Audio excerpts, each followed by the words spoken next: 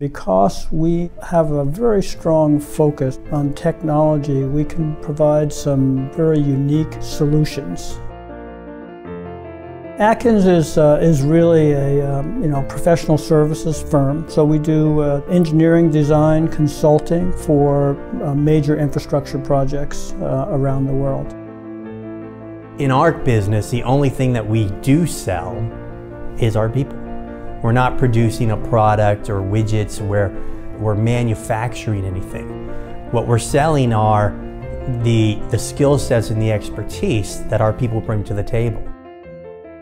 What interests me on this job most is the challenges that I meet every day. I think that I'm contributing just a little bit uh, to the success of the entire big picture of uh, Atkins and Faithful+Gould, and, and that keeps me going.